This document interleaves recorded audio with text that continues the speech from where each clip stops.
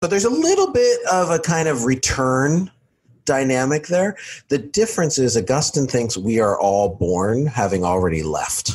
Do you know what I mean? For Augustine, yeah, what original sure. sin means is we are born with our backs to the Father, already yeah. on the way out, even though everything we have taking with us is a gift of that same father that we've rejected. So that's why it's almost like, right, it's this cross between the prodigal story and the refugee story.